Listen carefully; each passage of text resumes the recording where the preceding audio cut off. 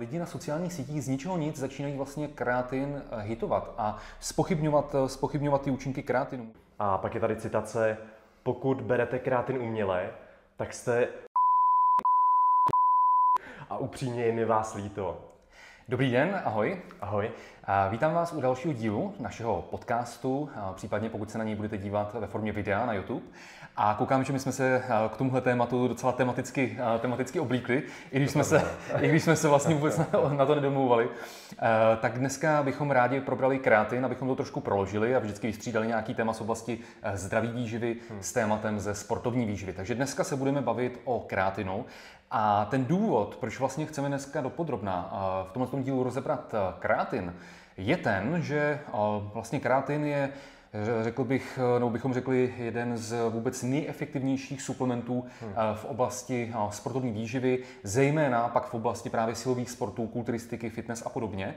A tímhle by to video prakticky mohlo skončit. E, nicméně právě jsme svědky toho, že v posledních týdnech nebo řekněme v posledních měsících prostě z ničeho nic eh, eh, po x letech, co prostě kreatin eh, všichni používají, a jsou s ním prostě velké zkušenosti, je na téma kreatinu obrovské množství vědeckých studií provedených třeba i přímo na sportovcích, hmm. tak v posledních týdnech nebo měsících prostě registrujeme, že lidi na sociálních sítích z ničeho nic začínají vlastně kreatin hitovat a spochybňovat, spochybňovat ty účinky kreatinu. Můžeme vidět třeba jenom pod mými články nebo pod našimi články tady první že kreatin může doporučit ten amatér, nebo další, že kreatin je jen obyčejný zadržovač vody v těle, nic jiného, nic jiného, nic jiného neumí, eh, nebo podobně tady ze Slovenska, že eh, kreatin ho skor akorát zavodní, eh, toho kluka, který ho bude užívat a podobně.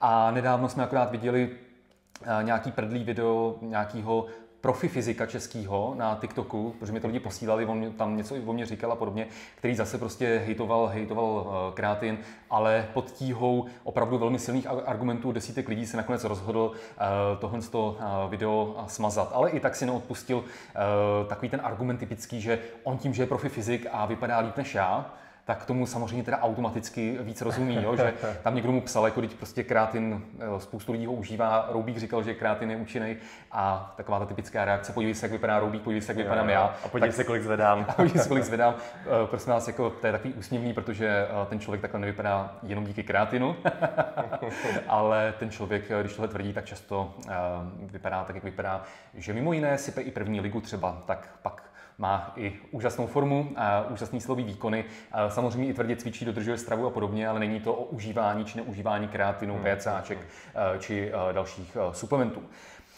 S tím, proč to takhle jakoby vlastně říkám, protože nám opravdu přijde paradoxní to, že podstatě my jsme na kreatinu všichni vyrůstali a eh, od začátku 90. let, eh, kdy se kreatin začal rutině používat ve sportovní výživě, eh, v podstatě tedy můžeme v tuhle chvíli říct, že se používá prakticky 30 let hmm. ve sportovní výživě. V roce 92 byl použit na olympiádě hmm. a v roce 93 byl poprvé jako komerčně dostupný ve formě suplementů. hmm Tak si vlastně vezměte, že na, na kreatin je k dnešnímu dni hmm. více než tisíc vědeckých studií. Takže nejen, že máme prostě jako spoustu praktických zkušeností s tím kreatinem, ale zároveň je to prostě jeden z vůbec nejvíce proskoumaných suplementů v oblasti sportovní výživy vůbec v celé historii. A já sám třeba musím říct tu praktickou zkušenost, že uh, vlastně za svůj uh, život jsem měl tři takové období, kdy jsem přibral nejvíc svalů. Hmm. To první období bylo opravdu když jsem začínal, když jsem cvičil prostě nějaký druhý rok a už v těch 15 letech jsem vyzkoušel krátin, hmm. tak to první užívání krátinu mělo prostě úplně raketové výsledky a když někdo říká, že první užívání krátinu se dá připodobnit k prvnímu užívání anabolických steroidů, tak já za sebe to můžu potvrdit, protože jsem opravdu raketově vyletěl, ať už silovými výkony a nebo objemy svalovými, svalových hmoty, kdy já jsem přibral při tom prvním užívání kreatinu nějakých 8, 8 kg a pořád jsem byl prostě vylísovaný hezky, a hezky. bylo to skvělý. Uh, druhý, kdy jsem v životě přibral nejvíc, tak bylo, když jsem bohužel tedy se pak eh, v těch 18-19 letech dostal k anabolickým steroidům, tak v té první kůře jsem taky přibral skokově hodně. A třetí, eh, třetí takový milník pro mě, když jsem přibral nejvíc svalů v životě, tak bylo, když jsem později objevil full body tréninky. Takže opravdu, eh, ale to už je jiný téma, full body tréninky nebo anabolické steroidy, ale opravdu proto mi přijde, prostě, když někdo najednou jako zesměšňuje užívání krátinu, když opravdu s tím já mám prostě 20 let prakticky vlastně zkušeností, ať už na sobě jako sportovec, později třeba jako funkcionář, trenér mládeže a podobně, nebo právě na jiných lidech, kteří mm, jsou mm, reprezentanti v kulturistice a podobně, a nebo právě na to existuje teda uh, víc než tisíc, tisíc vědeckých studií, které prostě prokázali tu účinnost kreatinu. Přesně tak. Já jenom přidám taky osobní zkušenost, že kreatin monohydrát je jeden jako z mála suplementů, který suplementují v podstatě jako celý rok. Mm-hmm. A to mi mm-hmm. připomíná, že mi akorát došel, takže si budu muset objednat novou, novou pixel. takže se nám výrobci můžete ozvat. Ne, dělám, dělám si legraci, my neděláme placený spolupráce. Přesně. Tak, tak, aby jsme se teďka dostali, dostali vlastně k jádru věci. My jsme teda pátrali po tom, proč z ničeho nic, proč z ničeho nic jsou takovéhle reakce na sociálních sítích, že vlastně uh, ten kreatin vlastně nic neumí, jenom vás zavodní a je to vlastně jako zbytečný, zbytečný suplement. Já jsem vlastně dával uh, někdy v červnu i takovou anketu uh, do storíček, kdy jsem se právě lidí ptal, prosím vás, jako co se to děje, že nenu, jako lidi začínají hitovat kreatin, pošlete mi, odkud máte ten zdroj a my jsme tento zdroj dohledali, takže já tě Mílo poprosím, já, abych se vyvaroval tady zase nějakým, eh, zase nějakým nedorozuměním, tak eh, my neřekneme jméno, eh, jméno toho fitness influencera, ani název knihy, odkud to je, ale můžu, můžu prozradit, že Vlastně se jedná o velmi známého influencera v oblasti fitness a kulturistiky, který nemá daleko ať už k tvrdým drogám nebo ke sprostým výrazům, takže se omlouvám, že vlastně Míla tady teďka přečte tu citaci z jeho knihy, která bude obsahovat pár prostých slov, ale my je vypípáme. To přesně tak. to nemůžu tady jedna hlas takže, říct. Pravděpodobně tedy odsud je ta informace teďka z posledních dvou let, že kreatin je špatný. Přečteš to prosím, Mílo? Takže kreatin je v kapitole zbytečné suplementy. A tady ten text vlastně zní kreatin. Kreatin je kyselina, která má největší zastoupení ve svalech. Pokud jíte dostatečné množství masa, není důvod ho přidávat uměle. Je to zbytečnost. Nafouknete se vodou, pak ho vysadíte a zvedáte ještě méně než předtím. A pak je tady citace, pokud berete kreatin uměle, tak jste a upřímně je mi vás líto. To je šílený že tohle se vůbec jako v té knize může objevit. Nebudu to, já to nebudu, já to nebudu komentovat, abych byl úplně maximálně eh, korektní, co to jde. Tak, eh, takže eh, v podstatě teďka eh, jsme objevili asi ten hlavní zdroj hmm, hmm. téhle informace. A teď se podíváme, na, pojďme, jak je to doopravdy. Pojďme, pojďme se podívat na to, jak to je doopravdy a pojďme si ten kreatin opravdu velmi, velmi podrobně rozebrat, kdy prostě půjdeme postupně, řekneme si, co to kreatin je, řekneme si, jaký má účinky, ať už na sportovní výkon nebo i další benefity na naše zdraví a vitalitu, řekneme si o dávkování, kombinacích a podobně, že všechno postupně teďka projdeme. Přesně tak, tak jdeme na to. Uh, tak kreatin je tělu vlastní látka, mm-hmm. je to organická sloučenina, kterou si dovedeme syntetizovat ze tří aminokyselin. Z metioninu, z argininu a glycinu. Mm-hmm.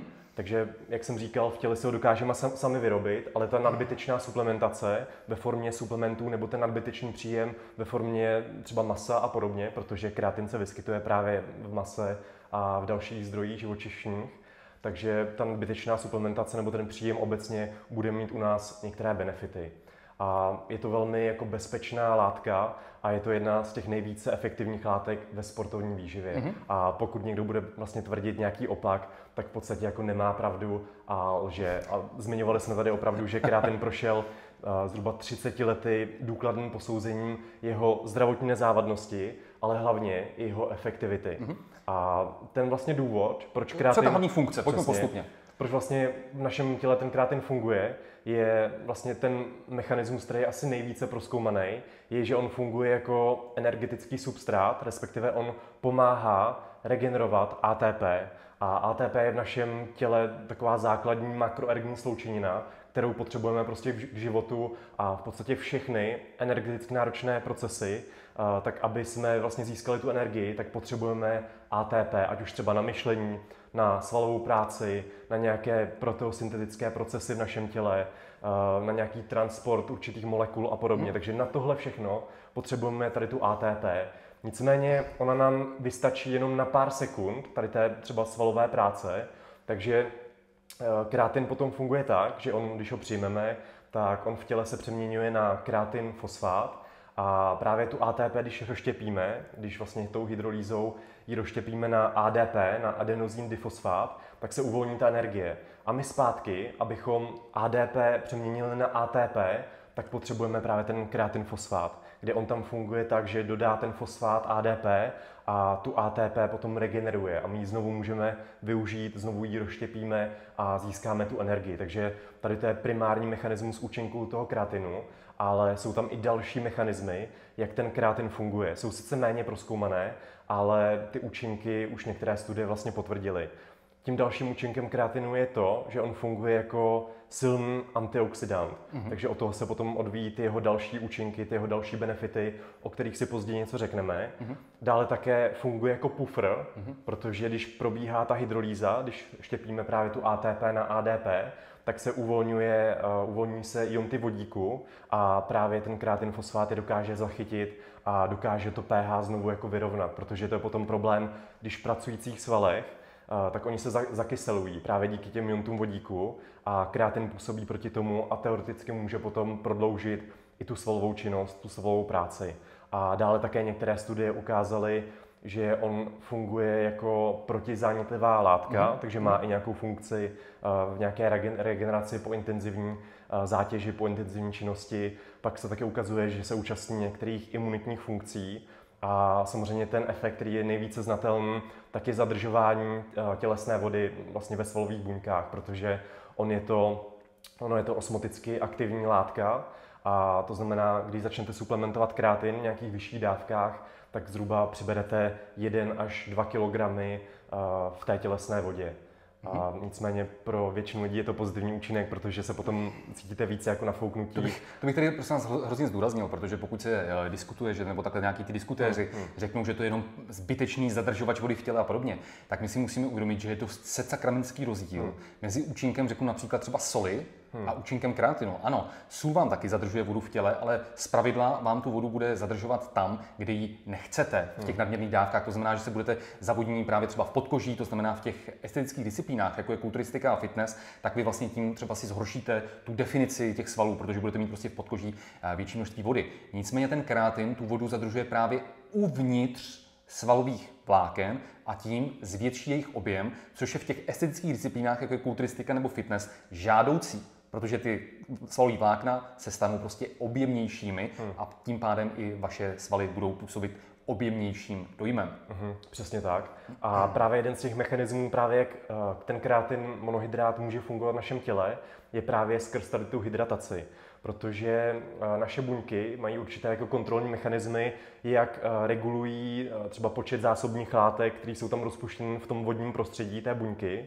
A tím, že vlastně kreatin hydratuje tady ty, mm-hmm. tady ty svalová vlákna nebo obecně ty svalové, svalové buňky, tak ta buňka si v uvozovkách potom myslí, jak dojde k tomu naředění, že má méně tady těch zásobních substrátů, jako je třeba glykogen, masné kyseliny, nějaké proteiny a podobně. Takže co ona udělá potom ta buňka v reakci na to? Ona zvýší protosyntetické procesy a tady to přímo vede potom k hypertrofii. Takže není to jenom o té tělesné vodě, mm-hmm. ale tady ten proces, tady ten mechanismus účinku potom přímo spouští tu, uh, tu protosyntézu a ve finále i tu hypertrofii, to znamená budování nové svalové hmoty. A přispívá to taky k pozitivní dusíkové bilanci, takže v těch svalových no. vláknech se prostě zachycuje větší množství těch aminokyselin a uh, vlastně ten, ten princip, uh, vlastně, který vede k tomu budování svalů, hmm.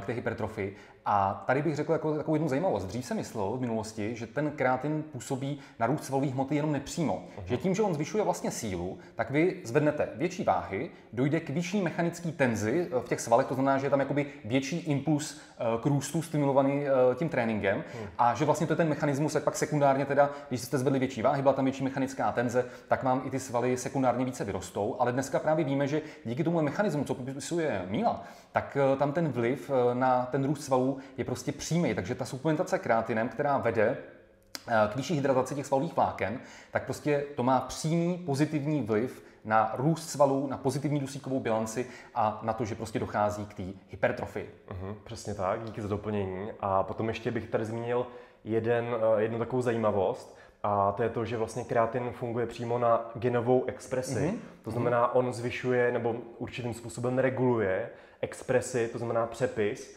eh, více než 200 genů a jsou to mimo jiné geny, které souvisí s aktivací satelitních buněk. Mm-hmm. Satelitní buňky nám pomáhají třeba regenerovat svaly, zvyšují počet jader v té, mm-hmm. v té svalové hmotě a podobně, takže pozitivní účinky. A dále také jsou to geny, které souvisí s IGF-1, mm-hmm. což je inzulínu podobný růstový faktor, který působí v našem těle anabolicky mm. a také vlastně reguluje kreatin vlastně syntézu myostatínu.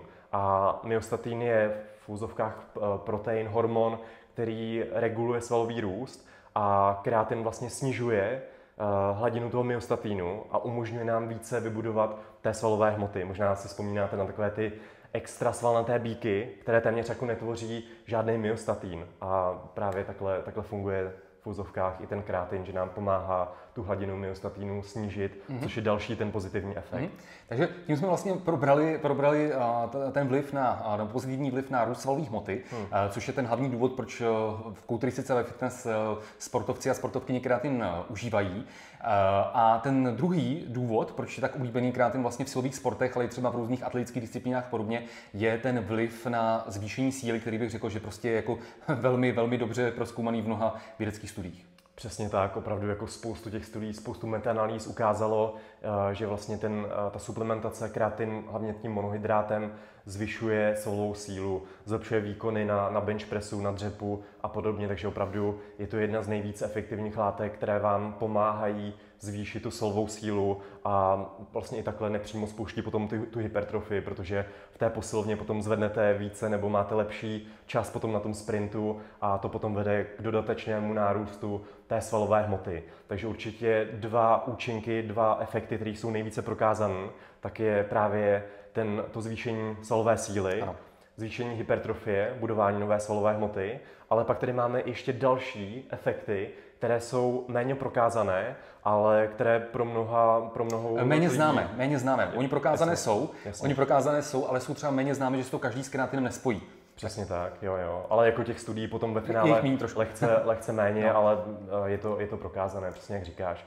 A mezi tady ty další efekty toho kreatinu patří pozitivní vliv na naší centrální nervovou soustavu, kdy se opravdu ukazuje, když se narodí dítě s nějakou genetickou odchylkou v syntéze nebo v transportu toho kreatinu v těle, protože, jak jsem říkal, už vlastně v těle se dokážeme ten kreatin uh, syntetizovat, tak pokud se narodí takové dítě, tak většinou trpí nějakou formou mentální retardace. Mm-hmm. A to nám dává tu informaci, že kreatin je strašně důležitý nejenom pro naši svalovou hmotu, svalovou tkáň, ale i pro naši nervovou soustavu. Mm-hmm. A i se ukazuje, že kreatin může být potenciálně vhodnou látkou k léčbě, k podpůrné léčbě, k terapii některých obtíží, jako jsou třeba některé neurodegenerativní onemocnění centrální nervové soustavy, jako je třeba Alzheimerova nemoc a Parkinsonova choroba. Zase, mm-hmm. že vlastně ten kreatin tam může mít nějaký benefit mm-hmm. i u nějakých dystrofických onemocnění, kdy vaše tělo mm-hmm. ve zvýšené míře odbourává vaši solovou tkáň. Takže to byly další, další mm-hmm. benefity toho kreatinu. Takže opravdu to má velkou spoustu účinků. Mm-hmm. Dále, no. dále to máme vlastně další, ty benefity. ty jsi mi totiž trošku utekl z té sportovní výživy, Aha. Uh, protože my jsme ještě k té sportovní výživě, ať o to neutečeme, chtěli zmínit to, uh, proto jsem říkal, že uh, o prokázání či neprokázání těch účinků, kde hmm. z hlediska sportovní výživy jsou ještě poměrně pěkně prokázané účinky právě kreatinu na zrychlení obnovy, na, zry, na regeneraci glykogenových zásob, jo. kdy ten kreatin v kombinaci se sacharidy vám umožní to, že hlavně pro sportovce, kteří vlastně trénují s vyšší frekvenci tréninku, hmm. tak vlastně dojde dojde k rychlejší obnově těch glykogenových zásob díky suplementaci kreatinu a přijímání samozřejmě sacharidů, eh, sacharidů v tom jídelníčku, ať už ve sportovních nápojích nebo v potravinách. Uh-huh. A zároveň eh, v rámci sportovní výživy ten kreatin eh, může být benefitem i při tréninku v horku, protože on zvyšuje tu hydrataci tak vlastně vy tím trošku lépe můžete předcházet dehydrataci. To hmm. znamená, ať už se jedná o silový sportovce, kteří jsou prostě v nějakým teplém podnebí, anebo pokud se jedná třeba i o vytrvalostní sportovce, eh, typu prostě maratonci a podobně, eh, kteří budou třeba běžet závod v nějakým teplém podnebí, kde budou větší ztráty a podobně, eh, nebo už i přirozeně při tomhle typu sportovní aktivity jsou prostě velký, velký ztráty tekutin, tak to může mít pozitivní efekt na ten výkon i z téhle perspektivy. Uh-huh, uh-huh, přesně tak. Potom ještě prevence zranění. Prevence zranění. Té sportovní výživy, tak dělali se studie třeba právě na hráčích amerického jo. fotbalu a ta skupina, která brala eh, v té přípravné fázi třeba na ty zápasy a podobně eh, krátin, která suplementovala krátin, tak měla potom nižší riziko zranění. A ten potenciální mechanismus účinku je zase přes uh, tu zvýšenou sílu, protože mm. když se vezmete toho sportovce, který běží někde po tom hřišti a zvrtne si kotník, tak aby se nestal nějaký závažnější úraz, závažnější zranění, tak pokud má ty svaly kolem toho kotníku pevnější, silnější, tak ty svaly mu ten kotník podrží a nedojde k nějakému závažnému zranění. Takže tohle je vlastně ten mechanismus účinku, jak zřejmě kreatin pomáhá zabránit tady těm, tady těm zraněním. Mm-hmm. Pak je další eh, vliv, méně známý vliv kreatinu pozitivní na zdraví našich kostí. Mm-hmm který samozřejmě je více markantní eh, buď u seniorů, anebo obecně u lidí, kteří eh, v krát, eh, toho kreatinu v té stravě přijímají méně, což typicky mohou být vegani nebo vegetariáni právě tím, jak Míla na začátku říkal, že tím největším zdrojem kreatinu v potravě jsou maso a ryby. Hmm, hmm, hmm. Jo, jo, přesně tak. Pak vlastně tu hydrataci už jsme, už jsme říkali. Prevence zranění, zlepšení regenerace, vliv na ty kognitivní schopnosti, takže není to jenom o tom tréninku, ale opravdu jsou zajímavé studie právě na, na veganech a vegetariánech, kteří mají nedostatek toho kreatinu samozřejmě v potravě a když tady těm veganům, vegetariánům podáte ten kreatin, tak se většinou u nich zlepší nějaký výsledky v testech pracovní paměti nebo v inteligenčních testech a podobně. Takže celkem zajímavá látka i tedy z toho důvodu. A mhm. zase se ukazuje, že ten kreatin na to vaše přemýšlení, na ty kognitivní schopnosti bude nejvíce funkční, když, jste, když ho máte samozřejmě nedostatek, a nebo když jste v nějaké spánkové deprivaci, nebo jste, uh, máte vyšší míru stresu a podobně a tam právě kreatin bude hmm. nejvíce fungovat. Hmm. Takže to by byly ty hlavní účinky kreatinu, ať už z hlediska zvýšení sportovního výkonu, nebo ty méně známé uh, pozitivní účinky hmm. na, uh, na naše zdraví, kognitivní funkce a podobně. A teď se pojďme podívat vlastně na to, uh, jestli ten kreatin je dostatečně bezpečný a hmm. zdali má vůbec nějaké vedlejší účinky.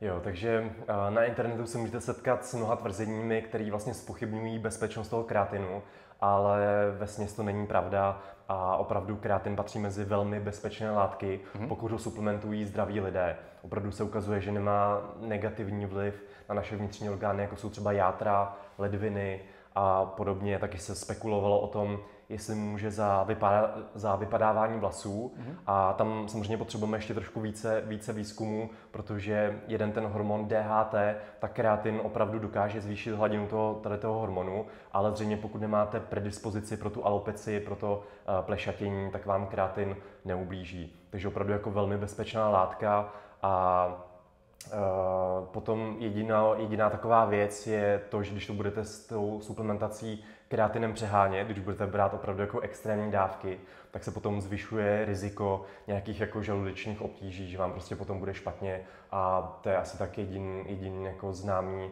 negativní účinek suplementace tím kreatinem. A i proto se vlastně doporučuje dávkovat ten kreatin eh, společně s jídlem, protože potom Uh, potom omezíte riziko tady těch nežádoucích mm-hmm. účinků a potom se také nedoporučuje přesahovat dávku vyšší jak 5 gramů jednorázově. Takže když jste třeba v té nasycovací fázi, kterou si tady ještě probereme, zmíníme, tak uh, si vlastně tu dávku celkovou uh, rozdělte do více menších denních dávek, právě aby nedošlo tady k tomu, tady těm obtížím žaludečním.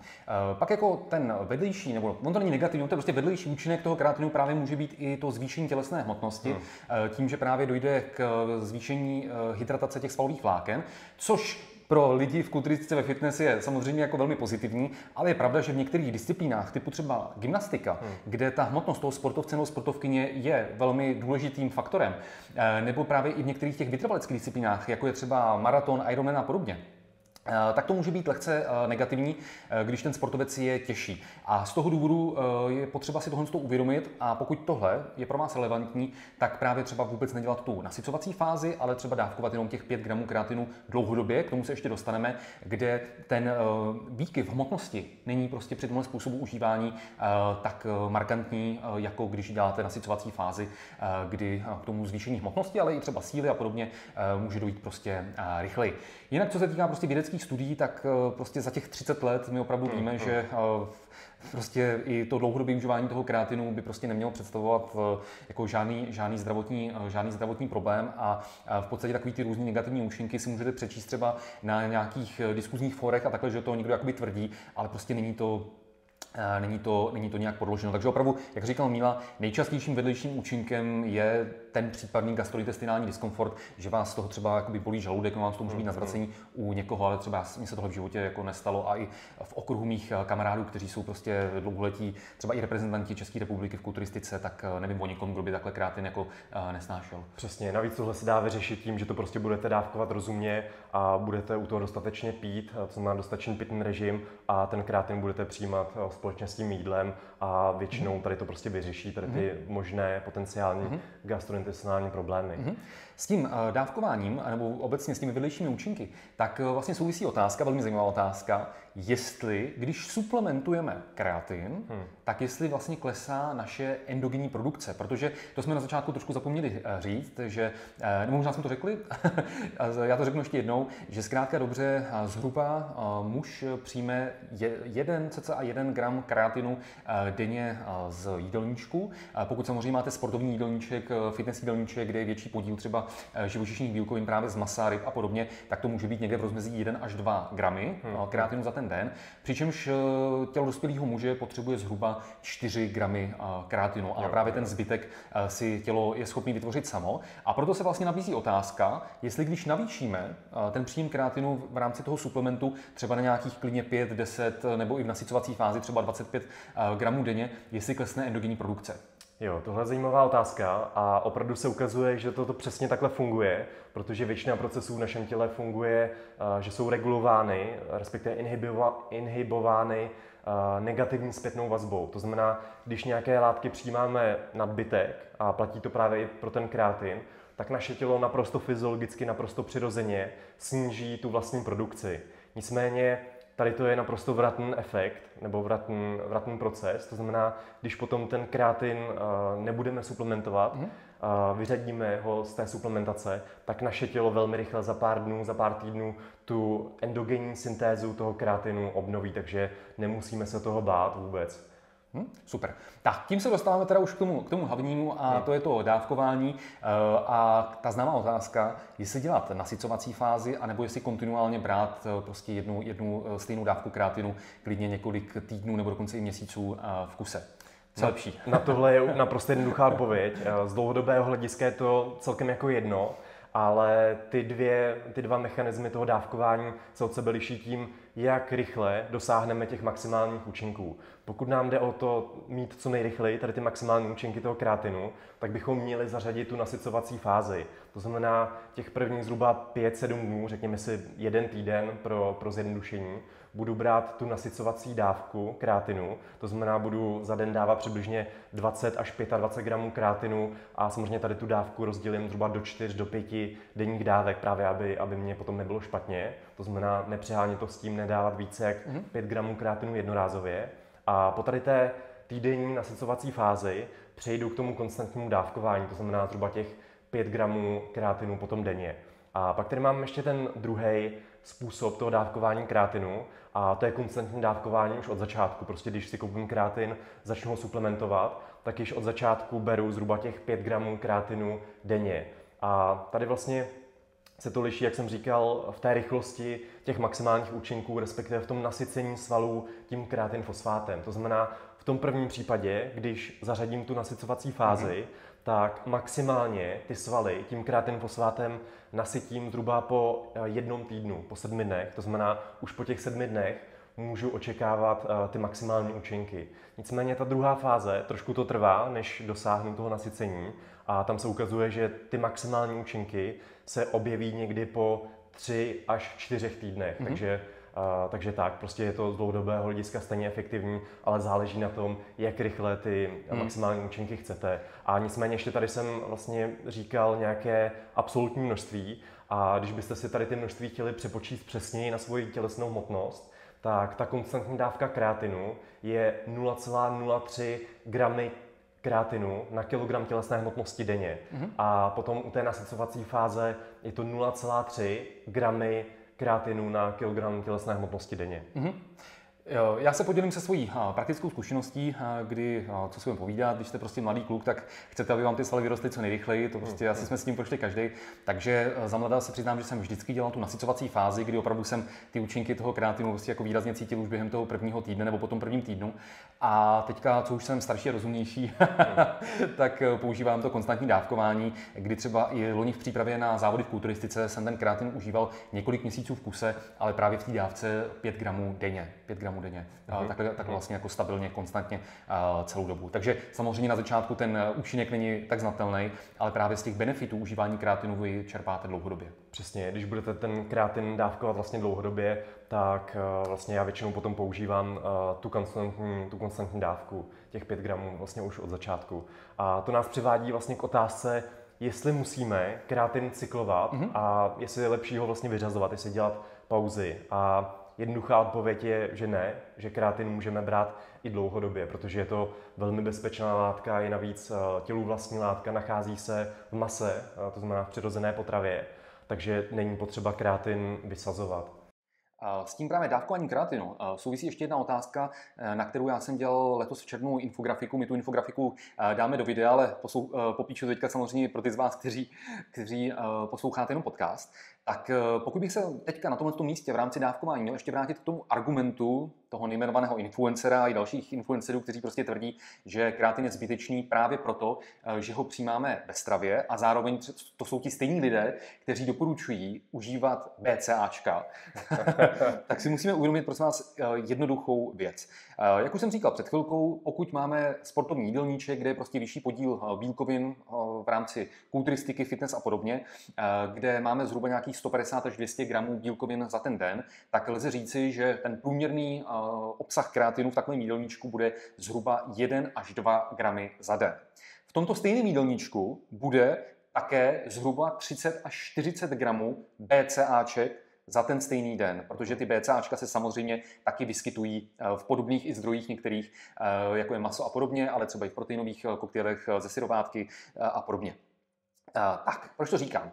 Říkám to proto, že vlastně teď, když bychom si měli zamyslet nad tím, jak ovlivní užívání v rámci suplementů, jak, užívání, eh, jak ovlivní suplementace 5 až 10 eh, gramů eh, buď kreatinu nebo 5 až 10 gramů BCAček, jak to vlastně ovlivní ten celodenní příjem, tak v rámci toho kreatinu, když mi dáme těch zhruba 10 gramů, aby se to pěkně počítalo, tak my tím navýšíme příjem kreatinu o zhruba nějakých 500 až 1000 Zatímco, když zařadíme 10 gramů BCAček, jo, tak my ten příjem denní BCAček navýšíme zhruba o 25 až 33% Takže prostě na tomhle tom krásně, krásně prostě můžeme vidět, že my jsme díky té suplementaci prostě schopní navýšit příjem kreatinu prostě o, jak říkám, 500 až 1000 eh, čehož bychom prostě eh, tím běžným, tím běžným jídlem prostě nebyli schopní. Prostě nejsme hmm. schopní nikdo z nás eh, jíst třeba jen toho vězí maso a ryby prostě na kila, aby jsme do sebe dostali třeba nějakých těch 20 gramů třeba kreatinu, kreatinu za ten den. Zatímco díky té suplementaci prostě my takhle jednoduše tohle schopní jsme a víme, že to je prostě bezpečný. Takže jako tenhle ten argument prostě Eh, kreatin je zbytečný, přijímáme ho v jídelníčku, radši si kupte BCAčka, který v tom jídelníčku jsou ještě daleko, daleko, Přesně. daleko mnohonásobně víc zastoupený. To je kapka v moři, že jo, s těma BCAčkama. No, tak to je prostě, to je prostě směšný, protože každý z nás, každý z nás, pokud máme sportovní jídelníček, prostě užívá zhruba, nebo přijímá v té, v té stravě zhruba 30 až 40 gramů BCAček za ten den a to přidání 10 gramů BCAček za ten den, prostě to už, uh, už ten příjem o tolik prostě uh, nenavýší, zatímco hmm. když uh, ten příjem kreatinu naroste o 500 až 1000% tak to tělo to prostě pozná a vy to pak poznáte v posilovně a i v zrcadle na těch výsledcích. Takže to bylo ještě jenom takový doplněk k tomu, uh, k tomu dávkování. A pokud ještě jedna věc, tady vlastně někdo třeba říká, že na ní kreatin nefungovala podobně, že vlastně sdílí tu osobní zkušenost, prosím vás, je to možný? Je to možný? Skutečně to tak je? Je to, je to možný. Tady to je vlastně otázka většiny studií, co se mhm. zabývaly nějakou efektivitou doplňků stravy. A opravdu v populaci většinou existují lidé, kteří na příjem toho suplementu, v tomto případě například toho kreatin monohydrátu, vůbec nějak nebudou reagovat mm-hmm. a označují se jako non-responders.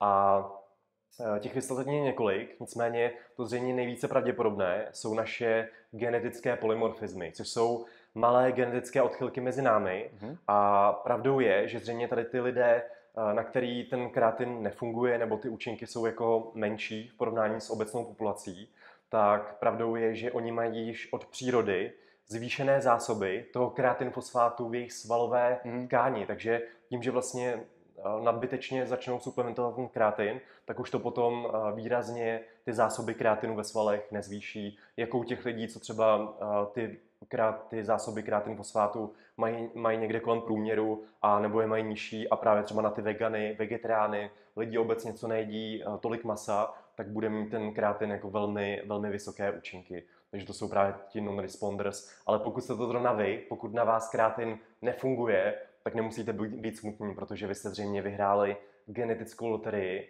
a ty, ty zásoby toho kreatin fosfátu ve svalech máte již od přírody vlastně zvýšené. Hmm. Je to tak. Tak, takže to bylo eh, všechno, co jsme chtěli říct k dávkování a teď se pojďme podívat na formy kreatinu. Já se tady zase podělím s takovou osobní historkou, protože já si vlastně pamatuju, když eh, tak jako kreatin tak jako vyšel ve známost, protože já jsem začal cvičit někdy eh, v roce 2000, 2001 jako pravidelnic a podobně a pamatuju si, jak pak, jak teda byl kreatin, takže jsem užíval, jak, jak jsem říkal, měl jsem s tím skvělé výsledky. A pak si pamatuju, že někdy kolem třeba roku 2005 začaly sem přicházet nové formy kreatinu. A pamatuju si, jak i na dveřích našeho fitness centra, tak byly prostě různé grafy a prosím vás, všichni začněte užívat krealkalin, protože prostě o desítky procent je to účinnější než klasický kreatin monohydrát. O rok později zase na těch stejných dveřích bylo už ne krealkalin, ale byl tam kreatin ester a zase prostě grafy podle studií prostě a, a, a podobně, podle vědců je lepší, daleko efektivnější užívat kreatin ester, protože zase uh, budete mít o desítky procent lepší, lepší výsledky a podobně. A já se přiznám, i když to je takový jako anekdotální argument, uh, říkat vlastní zkušenosti, tak zkrátka dobře, já sám neznám nikoho ve svém okolí a pohybuju se, pohybuju se v kulturice ve fitness 20 let, uh, jak jsem říkal, znám spoustu reprezentantů uh, a, a podobně, uh, komu by fungoval kreatin nebo kreatin etylester líp než klasický kreatin monohydrát. Nevím o nikom a já sám, když jsem samozřejmě to zkoušel, krealkalin i kreatin etylester, jsem prostě to zdaleka necítil, respektive jsem skoro vůbec necítil oproti kreatin monohydrátu, kdy prostě ty účinky jsou znát už eh, během třeba toho prvního týdne, pokud děláte tu nasycovací fázi.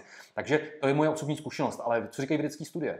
Ale říkají v podstatě úplně to stejné. To znamená, oni nepotvrdili žádnou jako vyšší účinnost tady těch nových, v nových forem kreatinu a opravdu ukazují, že ten starý, dobrý kreatin monohydrát je prostě nejvíce proskoumaný a zřejmě i nejvíce efektivní. Takže opravdu jako nehledejte žádné zázračné formy kreatinu, mm. protože kreatin monohydrát prostě funguje a je velmi levný, velmi bezpečný mm. a velmi proskoumaný. Takže ne, nemá smysl experimentovat a brát nějaký formy kreatinu, které nejsou tak dobře proskoumané. A většinou ty účinky jsou srovnatelné anebo spíš nižší v porovnání s tím monohydrátem. Hmm, a cena je obvykle vyšší. Vyšší, přesně tak. v porovnání s monohydrátem. Hmm. Tak, to by, bylo, to by bylo k tomuhle a pojďme si ještě říct uh, o stabilitě kreatinu, protože spoustu lidí se nás na to ptá, jestli je v pořádku, že si třeba kreatin po tréninku rozmíchají třeba v, po tréninkovém koktejlu, jestli vlastně nedojde k degradaci toho kreatinu a podobně. Uh-huh.